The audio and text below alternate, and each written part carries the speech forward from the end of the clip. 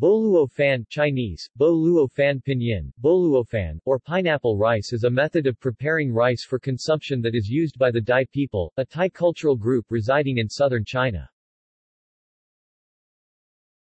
Description of process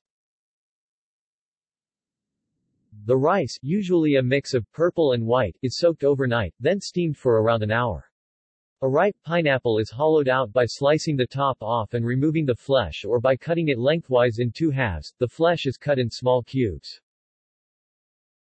The steamed glutinous rice then is mixed with the removed pineapple flesh, raisins, rock sugar, dash of salt, coconut milk and sliced almonds, filled back in the hollow pineapple, and steamed for another 20 minutes.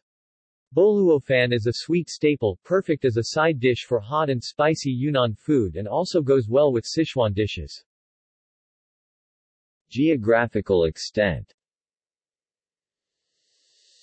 Similar techniques of preparation exist in other Tai-inhabited areas, i.e. Burma, Laos, Thailand, Vietnam. See also Rice, history of domestication and cultivation